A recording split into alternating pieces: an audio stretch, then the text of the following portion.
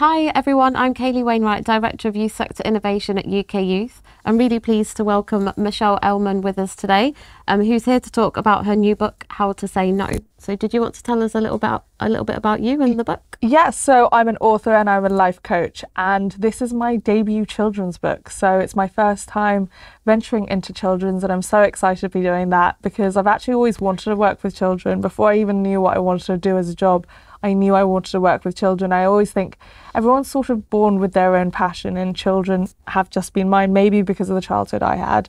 I had a lot of surgeries growing up, so my childhood wasn't the easiest. And so I think it's always motivated me to make life easier for children because I do think your childhood should be protected, should maintain your innocence, and have that period of time where you have no responsibilities and your only job is to enjoy yourself and have fun. Brilliant. And so the book How to Say No, specifically, you've talked about why you want to why you wanted to work with children, um, but in terms of the theme How to Say No, how did that come about?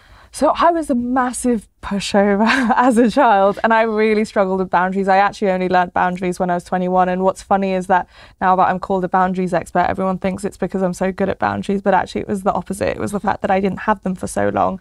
And then when you learn them, they are a new language and the first thing I kept thinking was, why wasn't I taught this earlier? How was I supposed to know this without anyone telling me this? And I don't even think the word boundaries existed when I was growing up. And so I think it was that passion of, I wish I had that when I was younger. I wish I could give that to other children. And when my second book, The Joy of Being Selfish, which is all about boundaries as well, came out, everyone, especially my followers, were like, now make a children's book. and I was like, oh, I'll just be repeating the same things over and over again. It'll be boring.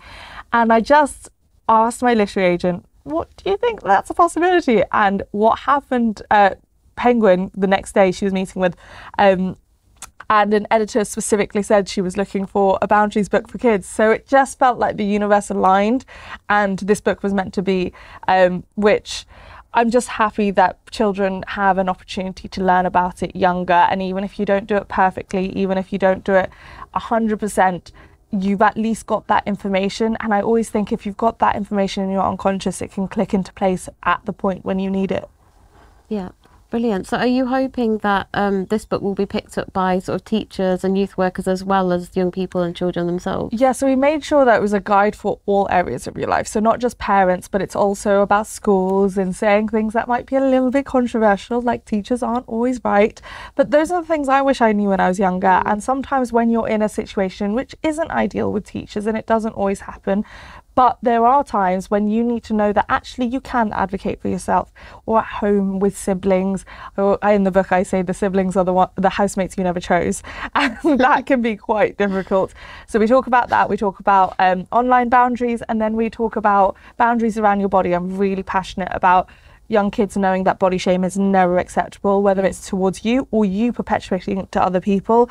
And I hope by in, uh, instilling those morals and values from a young age, they take that further on into life, especially now that online life is such a big part of life that you can't just say things online with no consequence um, yeah. because there's a real person reading those words. Yeah, definitely. Um, so, what advice would you give to young people around setting some of those boundaries? So I think it, it does start with the word no. No is the first and simplest boundary that you learn. And also, it's a word you knew inherently. And then when you get to about three, four years old, you have this thing called theory of mind, where not only are you able to think, but you're able to realize other people are thinking. And in order for that to happen, that means they can think about you, which means they can think badly about you. And that's when saying no becomes a little bit more complicated because a two year old has no problem saying the word no. But then as you get older, you start wanting to be liked and wanting to be included in the group. And all of that makes it more complicated. And that's when you might be more vulnerable to peer pressure or you might feel a bit more shy to actually communicate your needs. Mm-hmm. And so this is basically reminding them that actually you've always had this skill and you can keep this skill as you grow older. And we want to unlearn this idea that in order to be a good child, they're complicit and listen to everything and um, don't have their own voice. Because actually, you can have your own voice, you can still be respectful of adults around you, but know what you need and vocalize that to the people who can help you. Well, that's brilliant. I'm sure that so many young people will find that so helpful. Um, and obviously, as um, you know, quite a young author yourself, and a young person, as you just said, experiencing some of those challenges. Um, what would you say to sort of young people who are like looking up to you almost as a role model? You've gone through this, you've become an author and, and a speaker and a life coach. Like, what would your tips be to them for young authors or young people aspiring to be like that? So, growing up in school, I was dyslexic. I was told I was reading too young for my age. And actually, until that point, I loved reading. I was always caught with a book. I have so many pictures of me as a child with books. Mm-hmm. And then once I got told all those messages of like, you're too dyslexic, you're not keeping up with your peers, all of this, my love for reading disappeared. And actually, I just wish I could go back to me at that age and tell her that it's okay to read whatever books make you happy and that no one can tell you what you can't do. I have had four books out now, and no, even through secondary school, I was repeatedly told that my writing is what let me down. In university, I got told I would get higher marks if I could write better. And actually, no one can dictate that for you, and there's not one blanket way of writing well. There are some people who write in different styles to others, and my writing is a very accessible style because I want it to be inclusive. I want everyone to read it. And so, any child who's wanting to write a book, write it, even if it doesn't get published, even if no one else sees it, even if all you want to write is write in your diary. I just think writing is so good for your mental health because sometimes you have so many thoughts in your head, and actually just getting it out on paper means you're not just talking to yourself all day. Yeah, that's such good advice. Thank um, you. Um, and I think one of the things that we really see um, through our work is that youth workers can really support young people to like think big and you know go beyond um, what they might think is possible to achieve some of the things that like you've just you've just shared. So I think that's really great. And um, yeah, I think teachers, schools, youth workers, youth clubs all have a sort of a role to play in that. So thank you for sharing. And we definitely hope that more uh, young people will be able to achieve what they want. Um, so, just thinking about the book specifically and the tips and advice that you've written in there, what would you say are some of the top tips um, uh, from how to say no that you'd like to share with young people?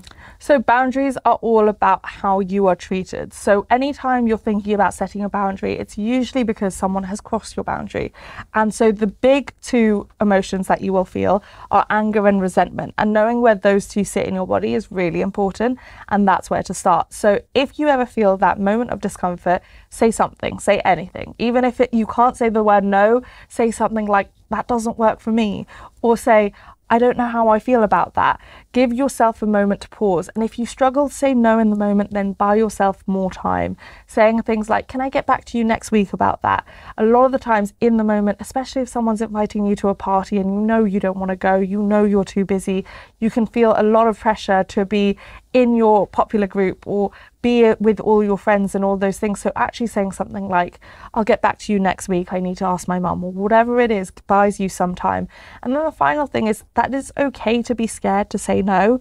It's not meant to be a comfortable thing. It's meant to be something that's different to the way you've been living your life. And but the good news is the first time you say no will be the scariest and then it gets easier after that. Thank you so much for watching. I'm Michelle Elman. I'm the author of How to Say No. It's out now in all good bookstores, and you can find out more about me at Michelle L. Elman on any social media. If you'd like to find out more about the work that we do at UK Youth to support young people and you'd like to get involved to support or donate, check out our website, which is ukyouth.org, or our social channels.